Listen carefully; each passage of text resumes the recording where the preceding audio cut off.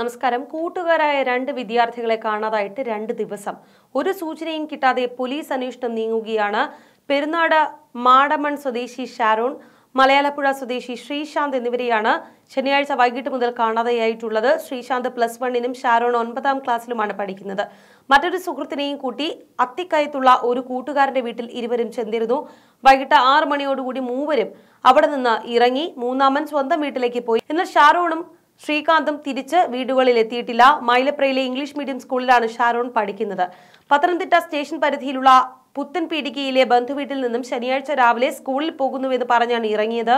മാടമണിലുള്ള അപ്പൂപ്പനൊപ്പമാണ് ഷാരോൺ കഴിയുന്നത്.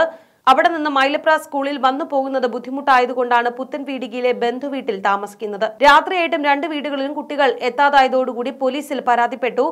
പെരുന്നാട് പോലീസ് ഷാരോണിന്റെ missing case register ചെയ്തിട്ടുണ്ട്. അതിനുശേഷമാണ് ശ്രീശാന്തിന്റെ വീട്ടുകാരുടെ പരാതിയിൽ മലയാളപ്പുഴ പോലീസ് മിസ്സിംഗ് കേസ് എടുത്തത് ഷാരോണിന്റെ കൈവശം ഒരു ബാഗ് ഉണ്ട് നീല ടീഷർട്ടും നീല ജീൻസുമാണ് ധരിച്ചിട്ടുള്ളത്. വെളുത്ത നിറവും അഞ്ചടി ഉയരവുമുണ്ട്. മെറൂൺ കളറിൽ പുള്ളികളോടുകൂടിയ നിക്കറും ചുവന്ന ബനീനുമാണ് ശ്രീശാന്ത് ധരിച്ചിട്ടുള്ളത്. വലത് പുരുക്കത്തിൽ മുറിവുണങ്ങിയ പാടുണ്ട്. കുട്ടികളുടെ കൈവശം മൊബൈൽ ഫോൺ ഉണ്ടായിരുന്നു. എന്നാൽ ഇത് ഓഫ് ചെയ്ത അവസ്ഥയിലാണ്. ഇതാണ് അന്വേഷണം തടസ്സപ്പെടാൻ കാരണം.